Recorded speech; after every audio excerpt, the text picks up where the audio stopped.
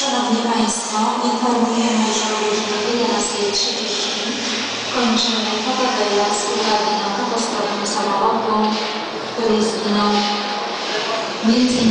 prezydent Polski wraz z małżonką.